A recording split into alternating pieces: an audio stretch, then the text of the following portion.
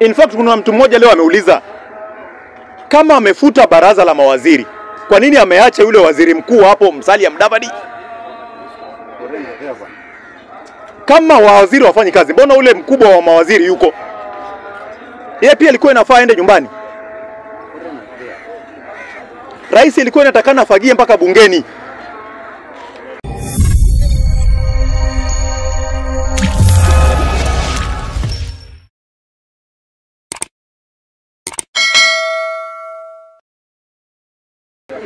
Kwa majina naitwa kwa majina naitwa Midiwo, niko katika bunge hili letu tena la Changamwe. Mimi nasema hivi, Gen Z mahali ambapo wamemfikisha Ruto ndio walikuwa wanaelekea vizuri, lakini wamemfikisha mahali kama kwa asilimia ishirini tu sababu ukimwangalia Rais Ruto hata leo akiwa Nakuru, yani ni kama ambaye hata ajui kama kuna kitu kinaitwa Gen Z, ajui kama kuna maandamano ilikuwa imefanyika, anaongea vitu vingine totally. In fact anakaa ni kama ambaye rais alikuwa kwa Uarabuni, sasa leo ndo amekuja, sijui atajenga shule sijui nini. Mimi nataka kusema hivi, rais ilikuwa kama jenzi wangekuwa wamemfikisha rais mahali, ilikuwa kuwafagia ile nyumba yote. In fact kuna mtu mmoja leo ameuliza kama amefuta baraza la mawaziri, kwa nini ameacha yule waziri mkuu hapo Musalia Mudavadi? Kama waziri wafanyi kazi, mbona ule mkubwa wa mawaziri yuko? Yeye pia alikuwa inafaa aende nyumbani. Rais ilikuwa inatakana afagie mpaka bungeni. Vile vile aliita wale wabunge awaite tena State House, aseme sitaki kuona Wetangula, weka weka nani anaitwa nani huyu? Alikuwa anaitwa yule speaker yule Marende. Marende. Nataka Marende awe speaker hapa. Ichungwa nyumbani, Nyoro nyumbani. Oh, Order please. Sawa. Order. Maybe you can information. Information, information. Information is not allowed. No, ana mislead watu. Information is not allowed. Period. Kwa shida gani? Mr. Speaker, mimi nasema hivi.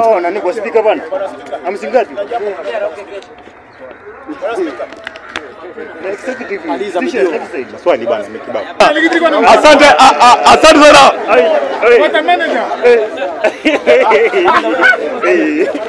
Asante sana Mr. Speaker. Waambie nafanya biashara bwana. Asante sana Mr. Speaker. Asante sana Mr. Speaker. Mimi nasema hivi. Gen Z walikuwa wamemfikisha rais mahali, lakini sasa ni kama wameishiwa na nguvu.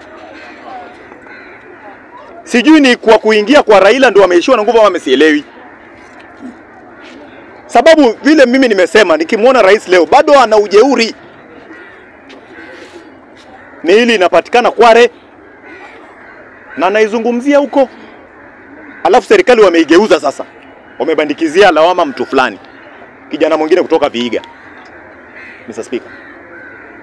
Lakini nataka kushukuru Gen Z mahali pia kwamba kuna mabadiliko ambayo Gen Z wameleta ambao huko mbele tutaziona, si, si, si kwa wakati huu. Kuna wabunge ambao waliacha useneta, waliacha ubunge wakapewa waziri. Kesho najua rais akikuita le kesho, wewe seneta, njoo nikupatie waziri, utafikiria sana, utaenda tu hivi hivi, sababu kina Kipchumba Makomen wameshapoteza kila kitu, kina Kindiki wamepoteza kila kitu. Kesho mswada ukiletwa bungeni na rais, wabunge watafikiria mara mbili kabla waipitishe. Mbunge atakuwa anafikiria huu mswada nikipitisha, je, ile moli yangu itachomwa ama itabaki? Watakuwa wanafikiria mambo mengi sana, sababu imefikia mahali Nairobi, Prado ikionekana hivi, kwanza kesho utaona Prado hata Nairobi hata moja. Kwa hivyo wametu, wametu, wametu, wametujenga sisi kama Wakenya kwamba wabunge wetu kesho watakuwa wanapitisha miswada wakiwa wamefikiria mambo mengi, kama, kama maoni ya jenzi iko, maoni ya vijana iko, ndio, ndio waje wapitishe ama wakatae. Mr. Speaker, Mr. Speaker, mimi namalizia kusema kwamba Ruto inafaa ajue kwamba leo Kenya hii rais hana nguvu kama vile zamani, na hiyo ndio kitu wakati alikuwa anaapishwa ilikuwa inafaa agundue na aelewe kwa uongozi wake. Mr. Speaker, watu wanauawa, nchi inaongozwa vibaya. Juzi tu miaka miwili na nusu hapo, ama miaka miwili, kulikuwa na kina Matiang'i hapo, walifanya maovu kama haya haya, na wakati huo wakifanya hao mambo walikuwa wajui kama watakuja kutoka. Matiang'i leo hayuko na hakuna mtu ambaye anajua mahali yuko. Kama sio Raila tena, huyo Matiang'i sijui angekuwa wapi. Mr. Speaker, mimi Raila, mimi ni supporter wa Raila, lakini saa zingine waga namlaumu kwa ku kwa ku kwa kusanitize maovu fulani. Ah, leo jenzi walikuwa washamnyonga Ruto, Raila amekuja pia amemsanitize tena. Mr. Speaker, kwa hivyo mimi nasema hivi, wale ambao wanafanya haya mauaji, naona Koome ameenda pia, alikuwa amefura kichwa kweli hapa nyuma, hakujua kama ataenda. Kwa hivyo wale ambao wanafanya hayo mauaji, mujue kwamba yule anayewatuma muda wake utaisha, na nyinyi pia mtakujiwa.